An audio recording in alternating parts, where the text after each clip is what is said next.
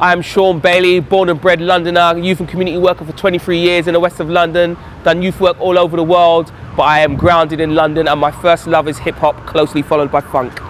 So here's one of the major deals about hip hop. It's become a goldfish bowl. So you've got a few people who do live an absolute thug life, a gangster life, and you've got everybody else with their face pressed up against the glass. They get to see all, they get to hear about all, but they don't have to suffer any of the consequences, any of the danger. That's what hip hop has become. We're disrespected as a community, but we are the main advocates of that disrespect. You know, it says to our young people, if someone mess with you, blow their head off, literally literally. And you need to ask yourself, are we building massive hip hop revenues on the backs of our young dead people? In London, we had so many people die in the last two or three years through knives and all the rest of that. Are we building this massive party culture? Because let's get it straight, a lot of hip hop is great fun.